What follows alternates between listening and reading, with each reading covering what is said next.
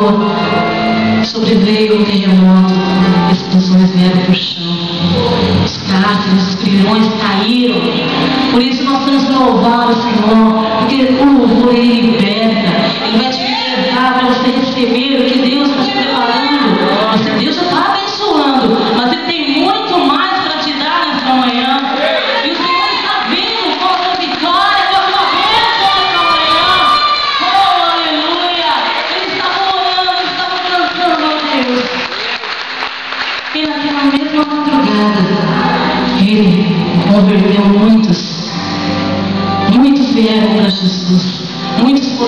alvos, muitos foram libertos. E pela manhã, como Deus é maravilhoso, eles foram libertos do cárcere, da honra e glória do Senhor. Eu não sei, talvez vocês estejam com prisão,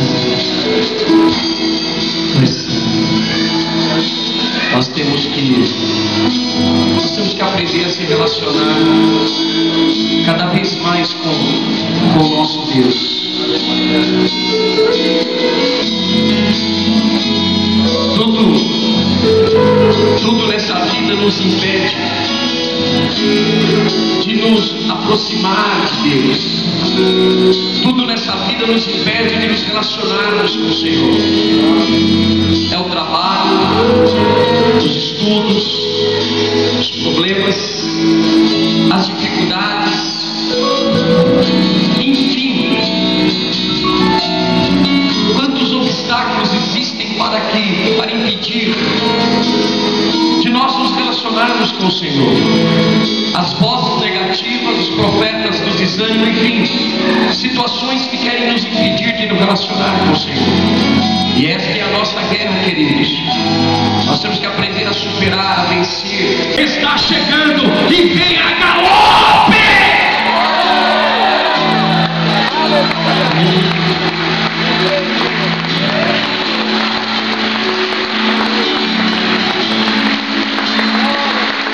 Só isso já basta.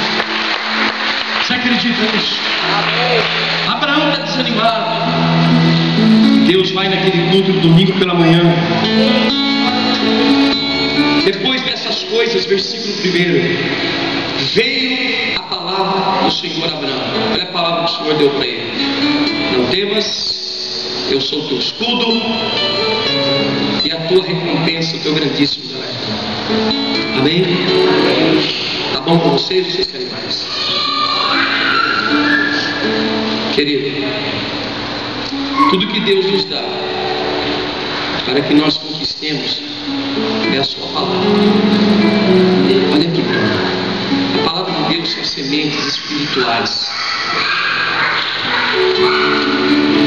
Quando você recebe a palavra que Deus te dá, você recebeu uma semente que vai produzir aquilo que você está precisando para esta semana. Mas quando você diz, não, é só uma palavra, quando você espera do homem, só vem aquilo. E vem menos ainda. Agora, quando você espera de Deus, quando você confia em Deus, eu estou esperando de Deus a minha recompensa. Vem com juros, correção monetária. Aleluia. Vai vir de Deus. Quando vem de Deus,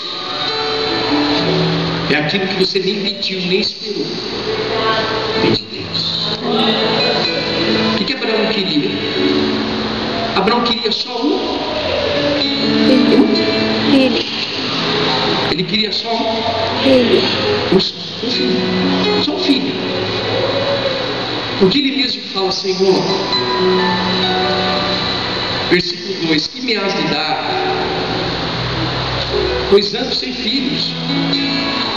Senhor, eu não tenho filho. Se eu me der pelo menos um.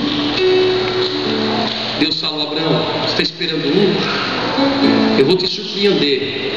Eu vou te dar muito mais. Glória a Deus.